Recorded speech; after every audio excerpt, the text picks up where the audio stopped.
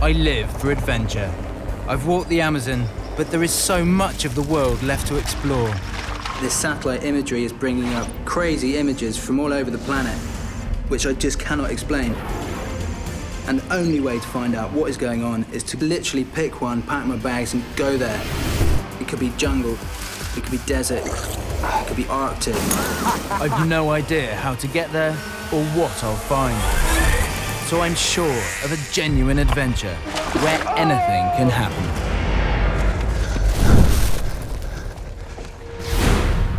I found a satellite image that has me intrigued. This one is deep in the mountains of eastern Siberia. Most of it looks very, very similar. It's forest, it's mountains, and yet there's what looks like a huge crater with a sort of conical shape within it, and then a further crater within that. It's in the middle of nowhere, it's extraordinarily remote. This marking does not make any sense. And I'm leaving tomorrow. Nine. Over prepared, Ed? I can't wait. At 5.30 in the morning, I meet cameraman James for the first leg of our journey. A short hop to Moscow. My target is in the wilderness of southeastern Siberia, not far from the village of Perevoz. But the nearest airport is 200 kilometers south in the small town of Bodaibo. And with no scheduled flights, we have to hitch a ride on a cargo plane. And we're going in via the tail. It's not comfortable. Plane. It's exciting. Siberia is huge. It's over three quarters of Russia's land area. This place is so typically Eastern Bloc. It's almost like a set.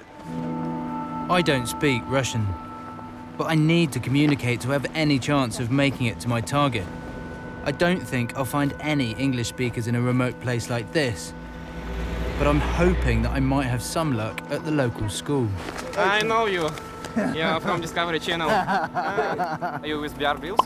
No? No, I'm Ah, very I know you. Um, There's a lot of people who obviously watch Discovery Channel here. Everyone seems to know me, which is very bizarre.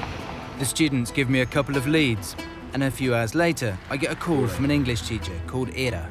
Okay, so we- should we go to the statue of Lenin? Ira? Yes. How are you? to meet Give me a hug. I Oh, lovely to meet you.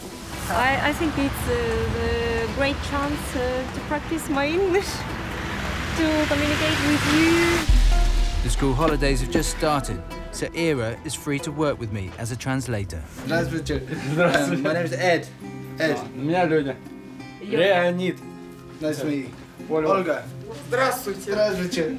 Leonid and Olga welcome us with open arms. And not long after, an open bottle of vodka. Огонь, по готовность! С какой целью ты приехал? There's a big crater. Patomskiy. Patomskiy crater. And I've seen it from an aerial photograph. And I'd like to see it with my own eyes and go and find хочет it. сам увидеть это никогда не... Ударился об землю. Получается большая энергия, выделяется. Yeah. It's a big energy there. No. Big energy there. Да. Uh, the trees and the grass can't grow there. Why? They don't know. Local legends claim that the crater is the nest of a giant fire eagle. Some believe it's cursed and that those who go there will die. These colourful stories make me even more determined to see it for myself. And this time of the year, it's uh, very difficult. в это время, э, во-первых, снега очень много. There is a lot of snow, Okay, over two meters. right. Very difficult or impossible? Нет? Нет. It's impossible. Okay, I understand that that is really steep, but this is less steep here. Могу It'll be, так. it'll be alright. You are crazy. Thanks, Leonid. Leonid wants to take me along the river as close as possible to the crater. Once I get to the drop-off point, I'll be on my own. So Leonid is keen to warn me that this region has Russia's highest concentration of brown bears.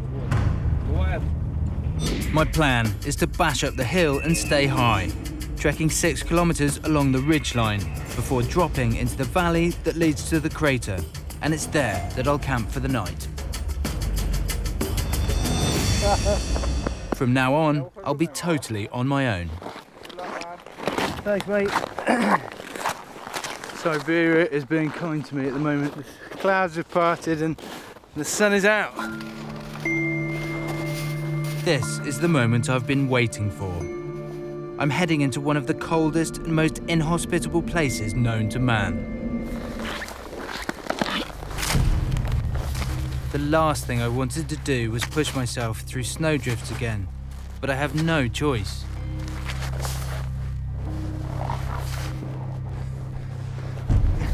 This is taking the piss now. I think the skis are needed. Okay, they work in so much as you know, on top of the snow.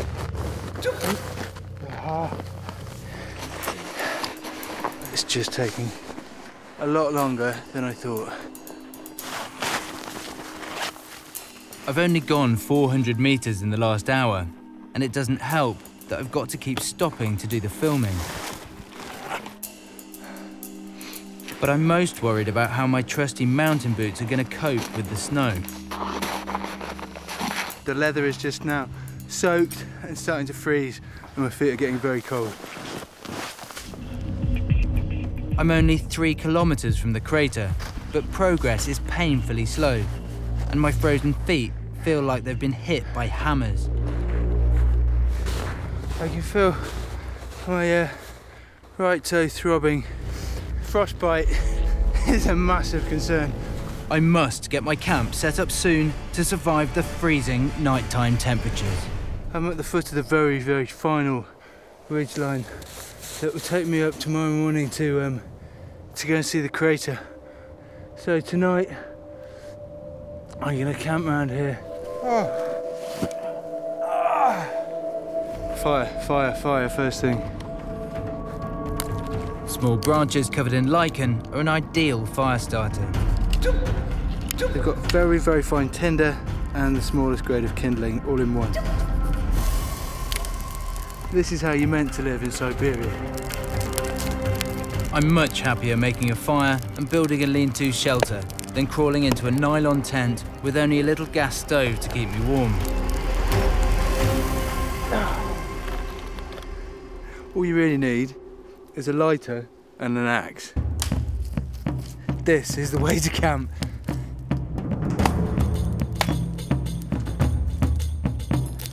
That'll protect me from the wind, reflect back the heat of the fire so that I'm not just heated on one side, I'm heated on both sides. And that is warm underneath. Above my head, I need to close all of these gaps. Instead of filling the gaps with small branches, I'm using a heat blanket from my emergency survival kit. It's a lot of work involved making a camp like this. So much fun. Temperatures dropped massively now outside. Um, outside. You're outside, Ed. And as the sun disappears over the horizon, the camera lens starts to freeze over.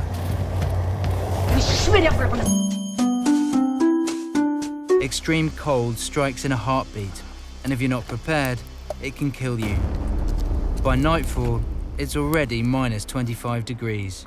The sort of ominousness about this place is somewhat lifted by a fire. It makes you feel safe. It's Siberia, and I'm sleeping outside. Definitely have got frost nip on my toe. frost nip, frost bite. That's me, out of chat. Um, signing off for the night. See you in the morning. In the night, the wind changed direction, blowing smoke into my shelter. I've slept some. I've slept some.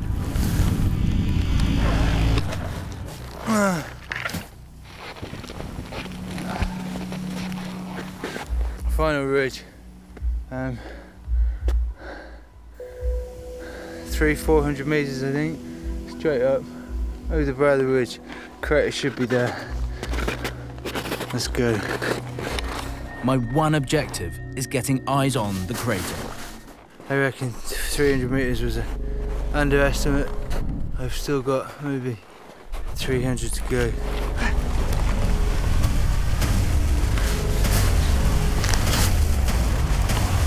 Dropping down towards this target. Oh yes, that is a crater. Oh my goodness.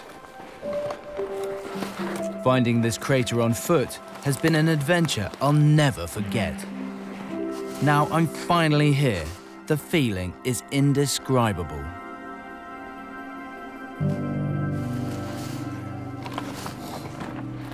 What looked intriguing on a satellite image is breathtaking in real life.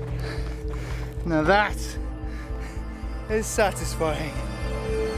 This huge white donut of rock in the middle of a vast landscape.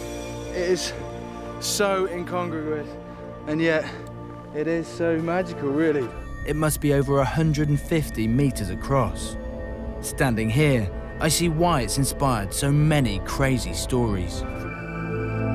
Who knows if this incredible crater will ever reveal its secrets? I don't know if I even want an answer. I'm just grateful for what the journey here has shown me, all thanks to one intriguing image from space. Yes! Geophysicists argue that the crater's donut shape rules out a meteor strike, and some rock samples that I took for analysis back this up. I'd have stayed longer, but I couldn't risk losing a toe. My frostbite will be a lasting reminder of this mysterious place in the heart of Siberia.